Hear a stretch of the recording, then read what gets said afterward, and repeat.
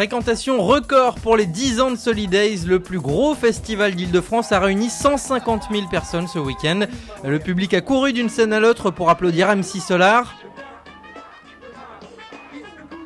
Mais aussi Ayam, Patrice, Grand Corps Malade et la jolie Yael Naïm qui a donné quelques frissons au dôme du festival.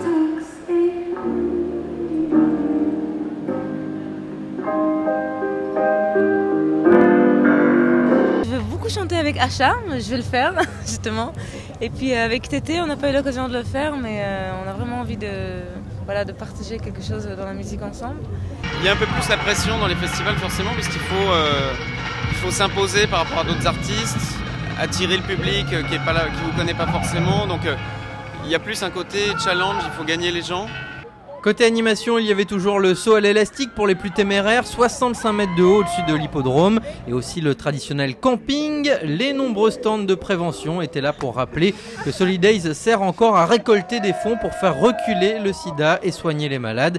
Une initiative qui n'était pas forcément bien acceptée au début. C'est à la fois une MJC, une colonie de vacances, un producteur de spectacles, euh, une association militante.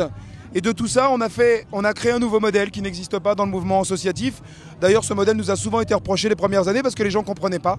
Je trouve que la manière de Solidarité SIDA par rapport aux autres associations de présenter euh, euh, une cause en s'amusant, c'est quelque chose qui me parle beaucoup plus que euh, le militantisme associatif classique. Quoi. Dimanche, le bouquet final était explosif avec Ayam et Tikon Jafakoli. Le Marseillais Akhenaton est toujours impressionné par le public parisien. Ils nous font mesurer à, à quel point déjà certains albums ont été euh, ont imprégné des générations, puisque euh, c'est un truc qui est un peu transgénérationnel.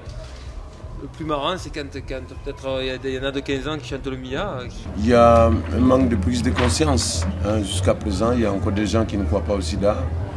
Il y a encore euh, les religieux hein, qui, euh, qui refusent d'aborder le sujet.